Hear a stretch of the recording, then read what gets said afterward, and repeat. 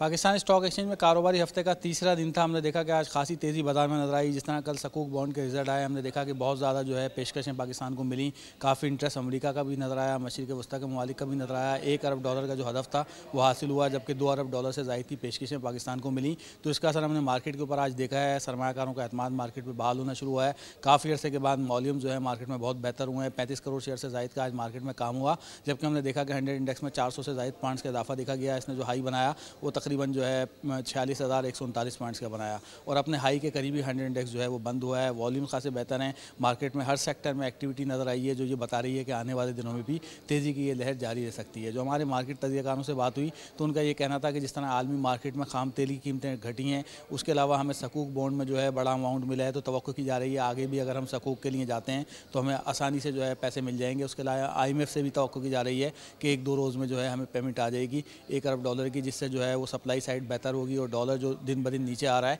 वो मज़ीद नीचे आएगा। तो की जा रही है कि डॉलर में बड़ी गिरावट देखी जा सकती है आईएमएफ की पेमेंट के बाद।